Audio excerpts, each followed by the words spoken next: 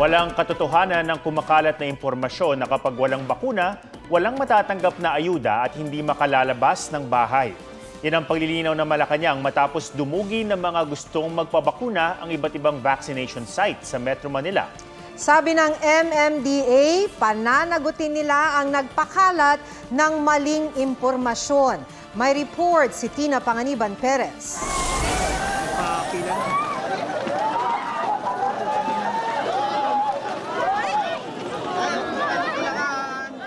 Takbuhan, Ano po kayo pumila sa likod ng ambulance? Kasi walang ano eh.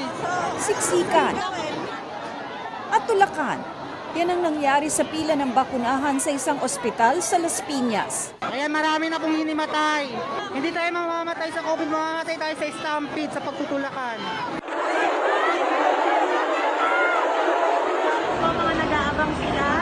Dahil dyan kinansela muna ang bakunahan. Aminado ang City Health Office na hindi nabantayan ng mga pulis ang pagdami ng mga tao. Naghabol ang mga residente na mabakunahan bago mag-ECQ ang Metro Manila dahil may mga naniwala sa maling impormasyon at chismis na kapag walang bakuna, walang ayuda at hindi makakalabas ng bahay. hindi raw makakalabas yung ano, yung walang bakuna. Kaya pilit kaming umaano. Pilit kaming magpapabakuna talaga. Walang inilabas na anunsyo na walang bakuna, walang ayuda. Tapos wala din namang opisyal na anunsyo na pag walang bakuna, hindi pwedeng lumabas. Libo-libo ring gustong magpabakuna ang napasugod sa isang mall sa Antipolo City. Grabe naman kayo! Kakababa namin kayo, dito kayo nag-ano ng mga tao. Nagpatulong ang LGU sa mga pulis at sundalo, pero nahihirapan pa rin daw silang kontrolin ang mga tao. na dinasiksik nga po rin ako sa pader dahil yung tatlong mama, di, dinikdik ako ng ganun. Kaya ang ginawa ko, tinulak ko rin po sila. Sa tulakan na po, hindi na iniintindi yung Christmas o ano man yung nangyari sa katawan nila po. Sa Facebook din po, sabi na pag hindi daw po walang bakuna, hindi makakalabas. Dahil sa kaguluhan, ipinagbawal na ng Antipolo LGU ang walk-in. Sa Maynila, dinumog din ang bakunahan sa isang mall sa Santa Cruz. Pinatigil tuloy ang bakunahan kanina roon at wala rin daw bakunahan bukas. Nabalita po kasi sa mga, kahit po sa mga kapitbahay lang po na pag hindi ka po ano, na-vaccine po, hindi ka po pwedeng lumabas. Ayon sa Manila Police District, marami sa mga dumagsa ay hindi taga Maynila at walang dalang QR code o waiver para patunayang rehistrado sila. Sa Facebook post, sinisini Manila Mayor Isko Moreno sa maling impormasyon ang pagdagsa sa mga bakunahan. Tingin din niya, may nais manabotahe. Eh mukhang napasok na tayo ng mga bata na mga politiko eh. May idea na ako eh, kung kaninong bata yung mga pain, oh, agitator. Oh, may sumigaw pa daw. eh. Ayun o, may tao sa loob. Paano magkakaroon ng tao sa loob sa mall? O, kaya sumugod yung tao. Sa Manila PIO Viber thread, tinanong si Moreno kung saan ang galing ang maling impormasyon na bawal lumabas sa mga di bakunado at kung may kaugnayan dito ang mga naging pahayag ni Pangulong Duterte.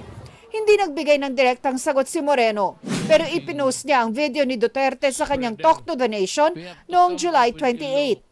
Sa naturang Talk to the Nation, nagbabala ang Pangulo sa mga hindi pa bakunado na wag lumabas ng bahay.